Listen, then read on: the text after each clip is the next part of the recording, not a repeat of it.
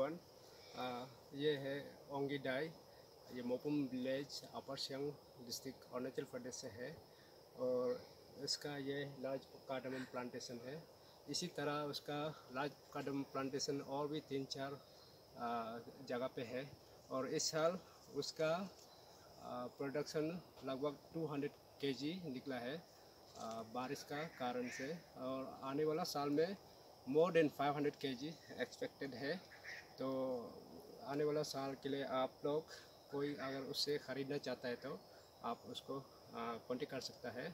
उसका contact number है nine four eight five two one six eight four nine. Thank you.